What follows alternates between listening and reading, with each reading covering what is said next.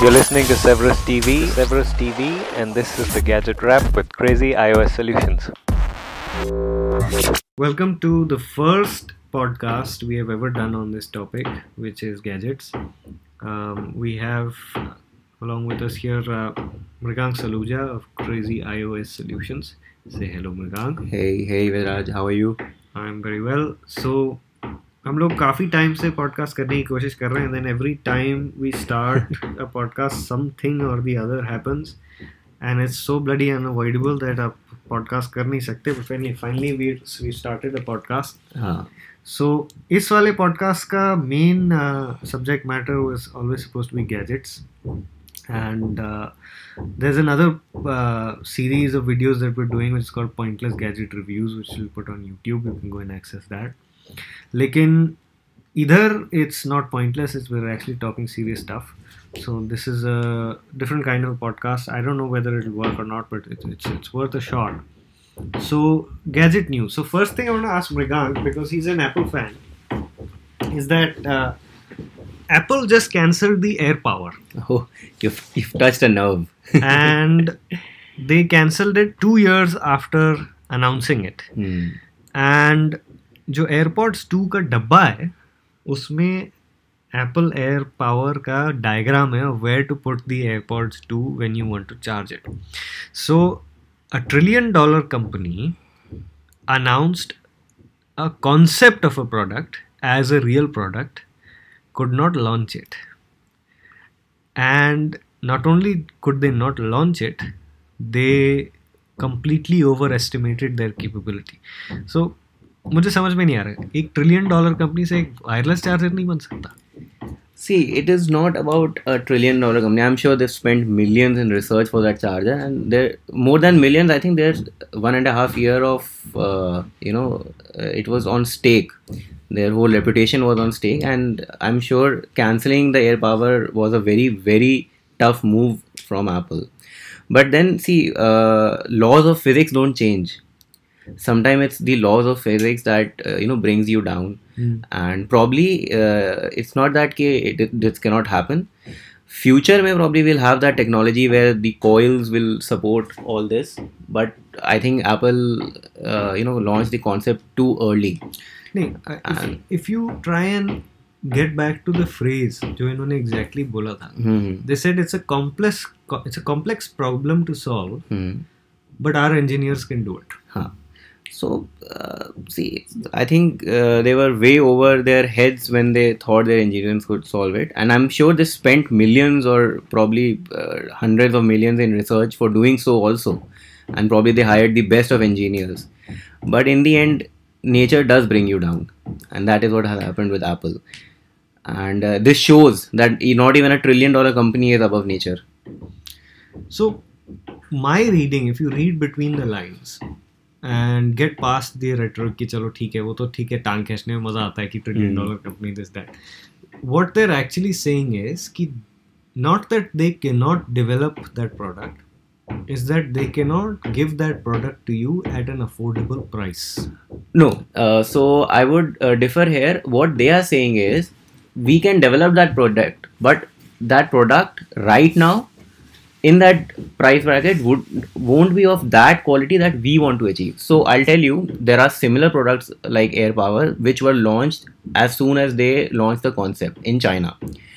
But those products have no viability, so they overheat, some of them have uh, also caught fire. This all these things is what apple doesn't want on their reputation after all the gates they have had and i think this is what made them uh, you know concede defeat for this product for now. Probably in the future we'll see a AirPower mat or it'll be called something else. But right now i think apple is more worried about their reputation and uh, providing a good quality product rather than providing a product which they had promised and you know just getting over with it. So that takes me to the larger point. So ऐसे नहीं लग रहा that Apple is going through real rough patch when it comes to their products because not only did they cancel the air power chalo they couldn't do it and they admitted it the macbooks uh, especially the 2017 MacBook and the 16 MacBooks, came up with this new engineering concept, which in the typical Apple fashion described it as if they have reinvented the keyboard Hmm. with the butterfly switch. Yeah. And then you had the keypad problems. You also had it. Your father also had it. You have both the new Macs. And then in 2018, they supposedly fixed that problem. And now you're getting feedback that people have replaced that keyboard three to four times and are still facing that problem. Now, if you're spending 20, 30,000 rupees on a laptop, and if this problem comes, it won't pinch you as much as if you're spending a lakh and a half up to three lakh rupees, which is the most expensive product, which has the same keyboard. So what do you have to say to that? I think uh, you know. See, Apple has always been innovators in their respective fields, but uh, somehow in the past three four years they have run out of innovations, and they have been trying desperately to catch that break, where they innovate and change the market trends. In all these things, I think they uh, you know come up with products and designs which pro- I don't know how it passes their R&D, but it does. And then in the future, when it is mass produced, the quality starts dropping. So Apple really needs to pick up uh, where you know their quality is uh, lowering, and now what has happened is people have caught on. If you remember, uh, recently they were you know scrutinized because they were uh, they were uh, what had happened with iPhone 6 they were Five. no not with the iPhone 5 uh, with iPhone 5s 6 and above Six they were throttling they were throttling the performance The because of battery Hmm. so they had to come up with a new software upgrade where they had to show you the battery health and everything Hmm. because people caught on people know the devices are well capable enough to handle that performance for many years to come. Mhm.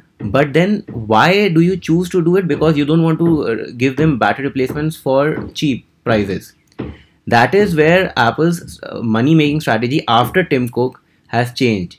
Steve jobs was the, was an innovator he never believed in uh, profits uh, skyrocketing because of their product.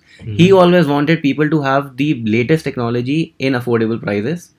And he wanted to change the market which he did with an, with his ipod with his ipad with his iphone. All these were market changes. But now tim cook under tim cook the strategy has changed. They want to you know milk on everything that they have with very less innovation. So that is where the problem is arising So I have an interesting question for you. Though Apple has made bad products before, and Apple has had quite a few gaffes in its history. yeah uh, with coming up with very short-sighted products. They tried to create their own alternative to USB, Mhm. which was uh, a very arrogant move, and the industry showed them their place very nicely. And then they tried to create a magic mouse which could only charge from the lightning cable right below the mouse. That's the ma- magic mouse that you have right now. Yeah. So that replaced my magic mouse, which is a battery powered magic mouse, and you just replace the batteries and you're good to go. Now your mouse is immobilized until the point that it charges and then you use it again. So these are, I mean, they're not problems that actually are so big, but they're irritating coming from a company that boasts that we are the most innovative product and we are the most innovative uh, thing out there in the business. So, what I've come, draw, the conclusion that I've drawn is that Tim Cook wala Apple is far more successful than Steve Jobs wala Apple, no doubt, because they dis- they figured out how to make money and more money. But जो इनकी original strength थी that the product and the customer experience remember how much how much Steve Jobs used to obsess over fonts, Fonts.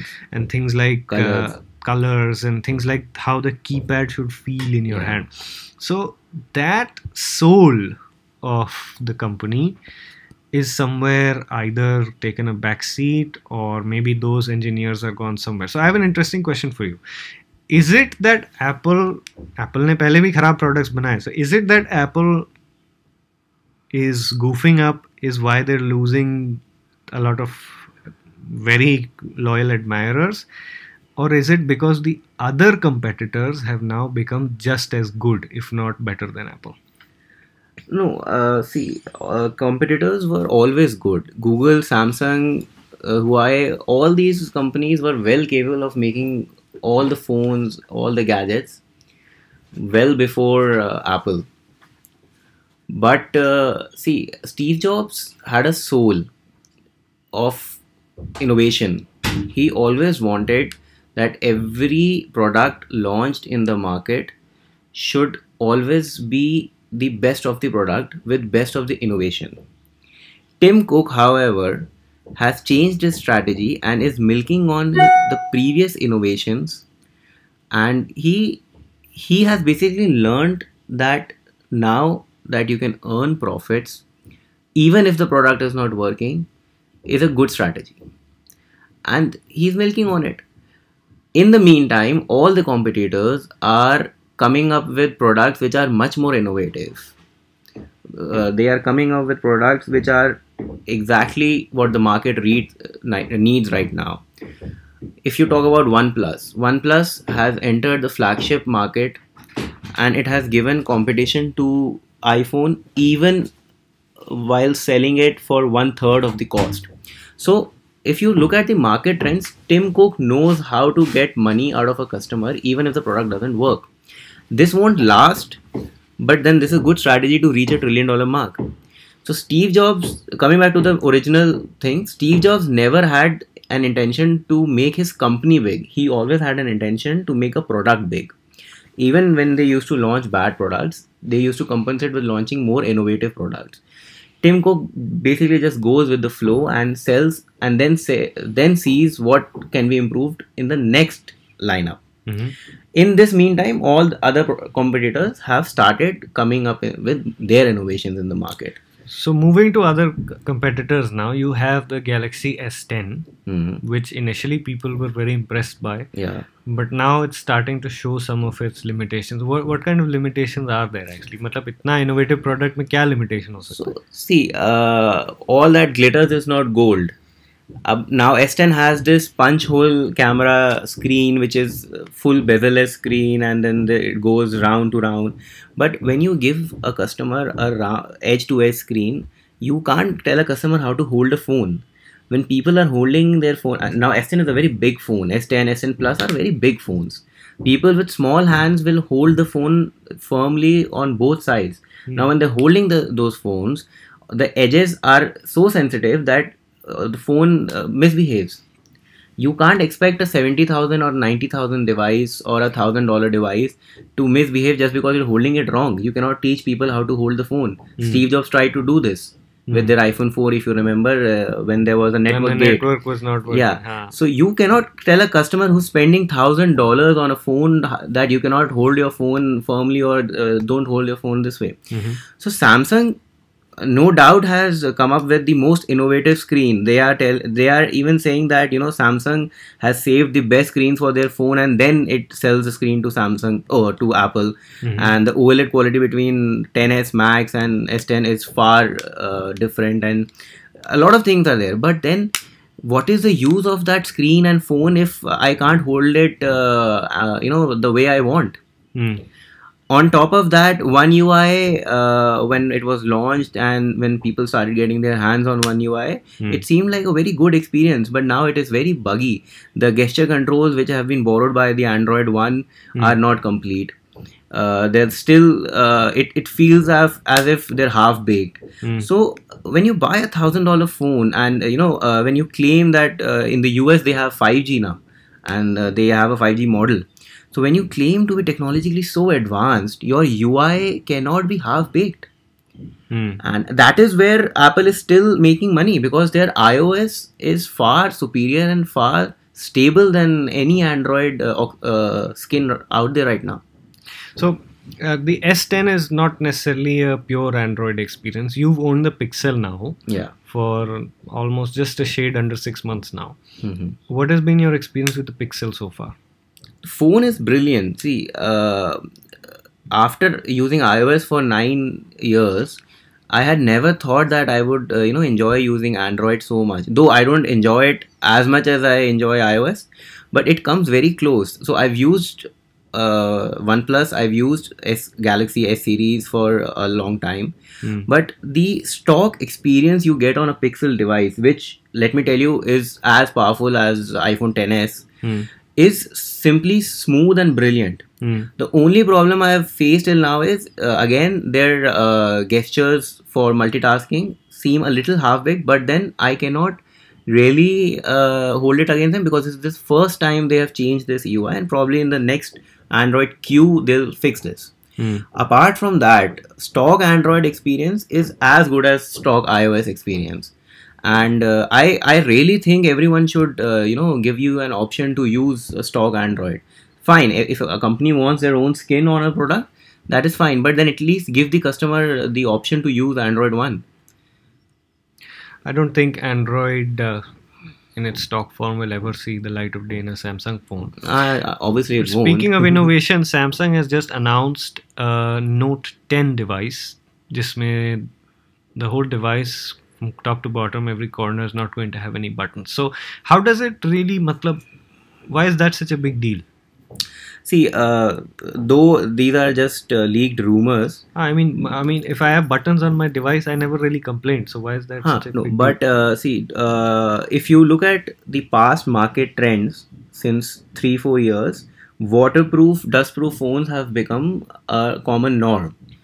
Uh, but the maximum rating a phone has ever gotten is IP68, which is not that big of a deal because your phone can still get damaged if it stays in uh, water conditions for long. Can you explain how this IP rating works? So what happens is there are different IP ratings. So IP68 is the highest rating a phone has gotten till now, and that means that your phone can be submerged in uh, water, like uh, shallow water, for half an hour and not get damaged. Mhm. Beyond that, then your phone may get damaged, water damaged, and the company is not liable. Mhm.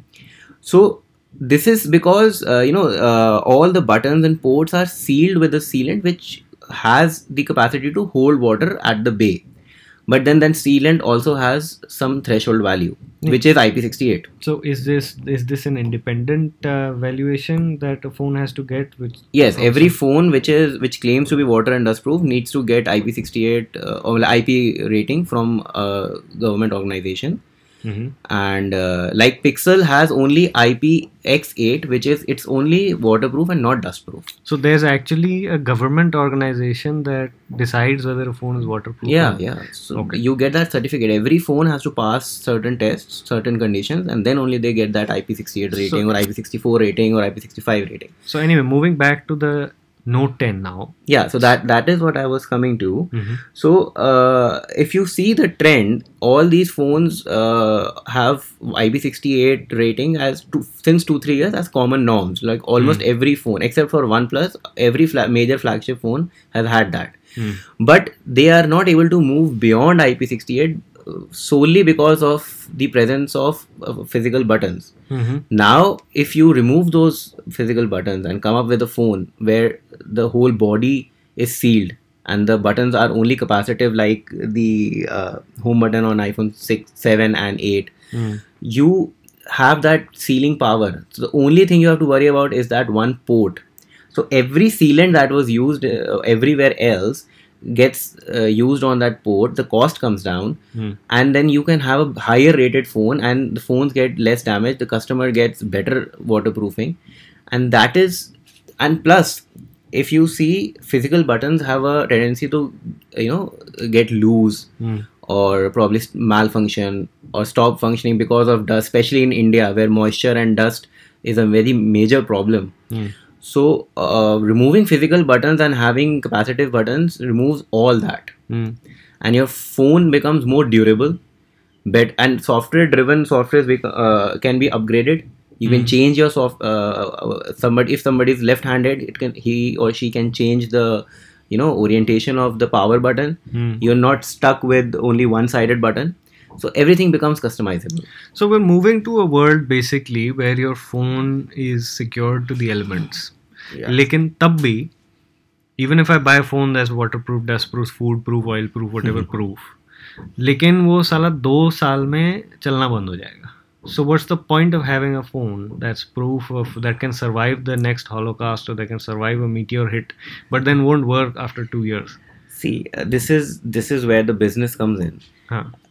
Any phone on market right now, if you pick up supposedly the 10s Max, the S10 Plus, Pixel XL 3, or uh, for that matter, OnePlus 6T, Mm. these phones have the hardware which can outlast at least six seven years of technological advancements in software. But you know if you keep your phone for five to six years and just get the battery replaced how will the companies earn?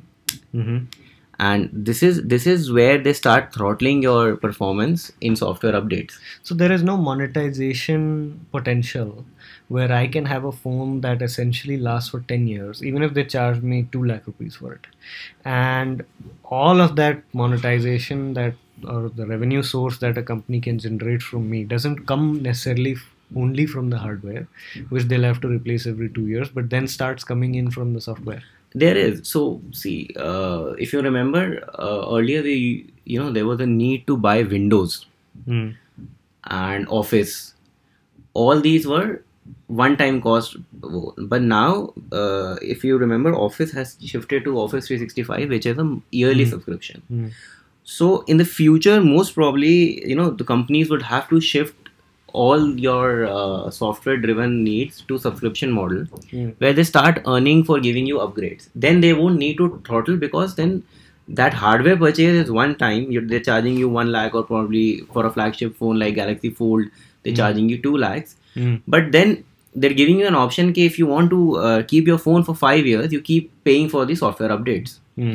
that is where the market is uh, changing anyways subscription model is the new thing right Hmm. now Hmm. so let's see probably this is the future On that note, you can subscribe to our podcast on Spotify, where it'll be online soon. And we're trying to get it up on iTunes and every other podcast platform where you can catch it. This has been our first podcast ever on gadgets. Despite repeated attempts, we finally managed to do it after a week. Um, you'll keep having a weekly podcast on gadgets and, among other things, on Severus TV and Crazy iOS Solutions. Uh, we'll make these sites available for you on other platforms as well. Right now, they, they're standalone websites. There is a YouTube channel called Severus TV. Uh, I'm sure pretty soon Crazy iOS Solutions will also have its own YouTube channel. So that wraps up our first podcast. Um, don't hesitate to write in if you like it. Tell us if you don't like it and you hate it. Tell us anyway because that'll help us improve. You can write in to us at Vijay V I J A Y R A J Vijayraj at Severus S E V E R U S Severus dot in. That's Vijayraj at Severus dot in. Or you can alternatively write to Mrigank at gmail.com. That's M R I G A N K H at the rate gmail.com. So that wraps up our first first podcast. Catch you on the next one. Bye bye. Subscribe to our podcast on SoundCloud, iTunes, Spotify, and YouTube.